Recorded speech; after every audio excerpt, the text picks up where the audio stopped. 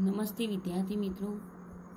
BSM one Gujarati સીસીસીઈ એકસો એક સુદામા ચરિત્ર પ્રેમાનંદ. એમાં એકમ એકમાં આપણે પદ વિશે અગાઉના લેક્ચરમાં અભ્યાસ કરી ગયા. જે મધ્યકાળના પ્રમુખ પદ્ય પ્રકારોમાં પદ વિશે આપણે અભ્યાસ કરી ગયા. હવે એના પછી રાસ રાસો.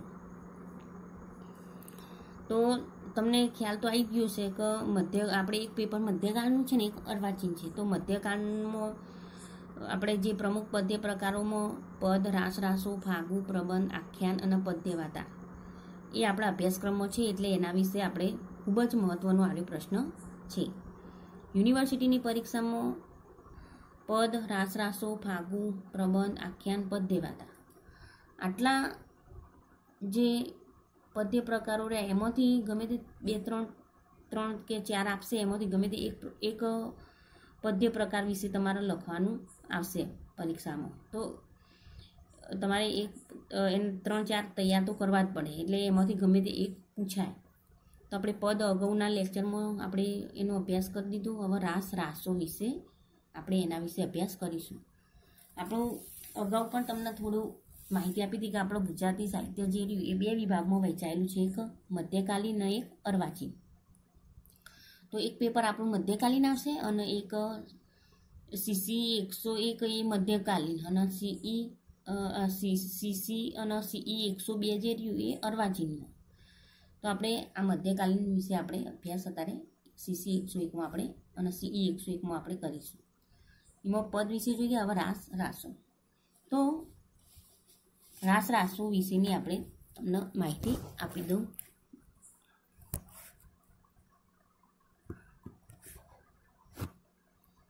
તો રાસ રાસો એમાં સંસ્કૃત સાહિત્યના જે જાણીતા કવિ, નાટ્યકાર ભાષે તેમને જે બાલચરિતમાં રાસ શબ્દ પ્રયોજીને જણાવ્યું છે. તો આપણે જે સંસ્કૃત સાહિત્યના તમે નામ પણ સાંભળ્યું છે, જો અગાઉ. તો આ ભાસ જે જાણીતા કવિ, નાટ્યકાર છે ભાસે તેમને નાટક, બાલચરિતમાં એમને આ રાસ શબ્દ પ્રયોજીને જણાવ્યું છે કે કૃષ્ણએ બાલ લીલા કરી. કૃષ્ણ અને ગોપીઓ વચ્ચે જે હલ્લીસ ક્રીડા રચાઈ, તેના માટે રાસ શબ્દ પ્રયોજાય છે. અને ઈસવીસનની આઠમી સદીમાં ઉદ્યોત સૂરીનું પ્રાકૃત ગદ્ય પદ્યાત્મક કુવલયમાલા નામની જે ગદ્ય કથામાં રાસ શબ્દ જોવા મળ્યો છે. અને મધ્યકાલીન ગુજરાતી સાહિત્યમાં સૌ પ્રથમ જૈન કવિઓએ આ શબ્દ પ્રયોજ્યો છે કે જે જૈન કવિઓ રહ્યા એમને આ શબ્દ એમને પ્રયોજ્યો છે. ઈસવીસન બારસો ને બત્રીસમાં રચાયેલ રેવંતગીરી રાસુમાં રંગહી એ રમઈ જો રાસુ. એમ રાસ રમવો એવો ઉલ્લેખ સાંપડે છે. આપણા મધ્યકાલીનના સૌ, સૌપ્રથમ કવિ હેમચંદ્રાચાર્ય વિવિધ તાલ અને લયમાં ખેલાતું ઘે, ઉપરૂપક એવી એની વ્યાખ્યા આપે છે.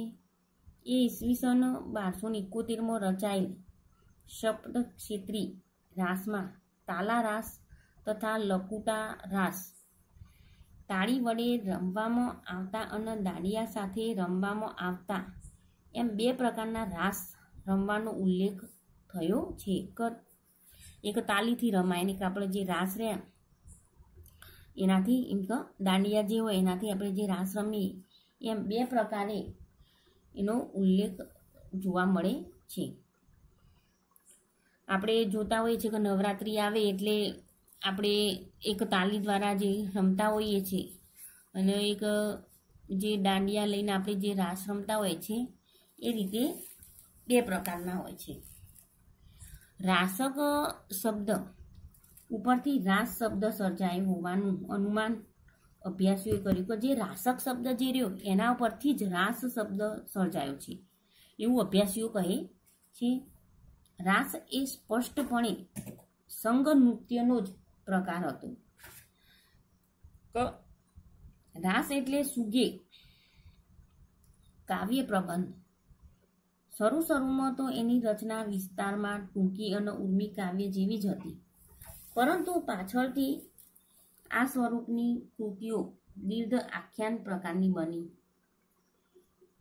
જૈન કવિઓએ પણ આ સ્વરૂપમાં ખૂબ જ ખેડાણ કર્યું છે કે જે જૈન કવિઓ રહ્યા એમને પણ આ રાસ, રાસોમાં ખૂબ જ સારું એવું એમનું ખેડાણ જોવા મળે છે. ઈસવીસન અગિયારસો ને પંચ્યાસીમાં શાલીભદ્ર સુરી ભરતેશ્વરી બાહુબલી રાસ લખી છે કે જે શાલીભદ્ર સુરી જે રહ્યા જૈન કવિ એમને ભરતેશ્વરી બાહુબલી રાસ એમને લખેલો છે અને તે પછીના બસો વર્ષના ગાળામાં એટલા બધા રાસ રચાયા છે કે શ્રી કેકા શાસ્ત્રીએ એ સમયગાળાને રાસ યુગ કહેવા લલચાયા છે. આ જે અગિયારસો ને પંચ્યાસીમાં જે શાલીભદ્ર સૂરીએ લખ્યું ભરતેશ્વરી બાહુબલી રાસ, એના પછી તો બસો વર્ષના જે ગાળો રહ્યો, એમાં તો એટલા બધા રાસ લજ્યા કે કેકા શાસ્ત્રી પણ એ સમયગાળાને રાસ યુગ કહેવા લાગ્યા છે. એટલા રાસ લખાયા છે. હવે આપણે રાસ વિશે જોઈએ તો તમને પણ એક ખ્યાલ આવી ગયો છે કે રાસ રાસો એટલે કે આપણે જે નવરાત્રિ વખતે જે ગોળકુંડાળામાં જે તાલીઓથી અને દાંડિયાથી જે રમીએ છીએ રાસ.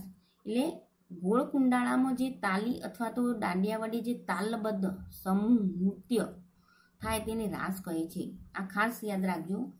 કે જે ગોળ કુંડાળું હોય એમાં તાલી અથવા તો દાંડિયા વડે જે તાલબદ્ધ સમૂહ નૃત્ય સમૂહ નૃત્ય થાય, તેને રાસ કહે છે.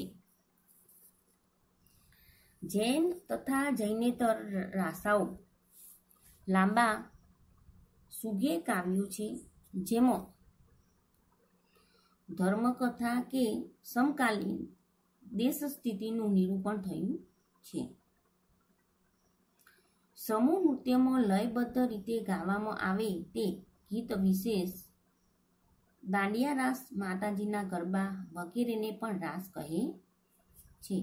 તો આપણે જોઈએ કે જે સમૂહમાં નૃત્ય થતું હોય એને લયબદ્ધ રીતે જે ગાવામાં આવે એ દાંડિયા માતાજીના ગરબા વગેરેને પણ આપણે રાસ કહીએ છીએ.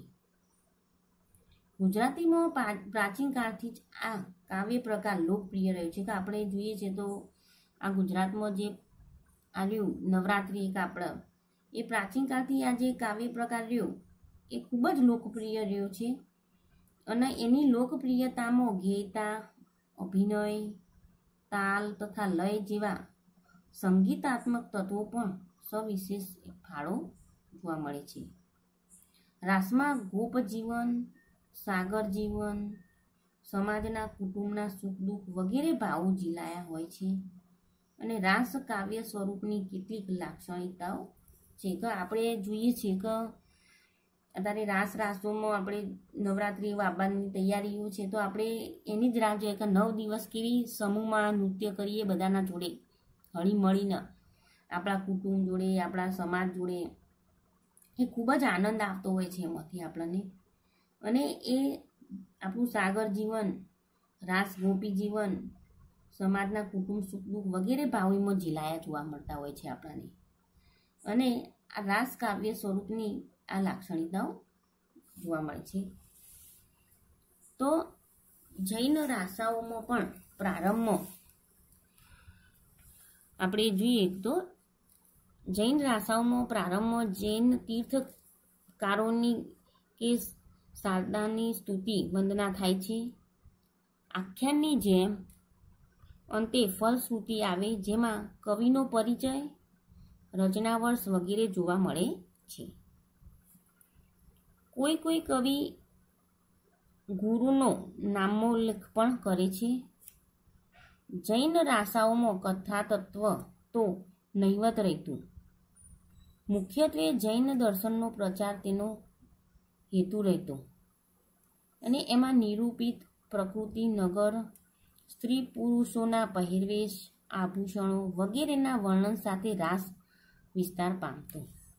આપણે જોઈએ છીએ ત્યારે નવરાત્રિ હોય તો નવ દિવસ નવા નવા કપડાં પહેરતા હોય છે. સ્ત્રીઓ એમાં ખાસ એમાં ઘરેણાં, જુદા જુદા ચણિયા ચોળીઓ એ પ્રમાણે, જે ચણિયાચોળીઓ એ પ્રમાણે ઘરેણાં પણ એ રીતના મેચિંગ થતા હોય, પહેરતા હોય છે. એ રીતે પ્રકૃતિ દરેકના વિસ્તાર પ્રમાણેના પહેરવેશ પણ હોય. છે જાતિ પ્રમાણે પણ પહેરવેશ હોય છે. આ રીતે સૌ પોતાના ધર્મનો આ રીતે સારો એવો નવરાત્રિના ઉત્સવમાં દેખાવ કરતા હોય છે. કોઈ કોઈ કવિ તો ગુરુના નામોલ્લોક પણ કરે છે. જૈન રાસાઓ કથા તત્વ તો નહીવત રહેતું, પણ મુખ્યત્વે જૈન દર્શનનો પ્રચાર તેનો હેતુ રહેતો. એમાં નિરૂપિત પ્રકૃતિ, નગર, સ્ત્રી પુરુષોના પહેરવેશ આભૂષણો વગેરેના વર્ણન સાથે રાસ વિસ્તાર પામતો. એમાં સમકાલીન સામાજિક, ધાર્મિક, રાજકીય દેશ સ્થિતિનું નિરૂપણ પણ થતું. રાસ એ મુખ્યત્વે માત્રામેર છંદોમાં રચાતા. વિપ્રલપ સંયોગ શૃંગારની સાથે કરુણ રસ પણ તેમાં નિરૂપાતો. પ્રેમ સૂર્યના ભાવો પણ તેમાં મુક્તપણે પ્રગટ થતા. રાસકૃતિ જો જૈન કવિની હોય તો મોટા ભાગે કરુણા હોય અને તેમાં ઉપસપ બોધ આવે. જૈનેતર રાસના અંતે મોટા ભાગે સુખાંત રહેતા અને આવા રાસ મુક્ત ભાવથી પૂર્ણ થતા. આ રીતે રાસ આપણે જોઈએ તો સામાજિક, ધાર્મિક, રાજકીય દેશ સ્થિતિનું નિરૂપણ આ થતું. હવે આના પછીના લેક્ચરમાં હું તમને રાસ વિશે થોડું બીજું સમજાવીશ બસ અસ્તુ.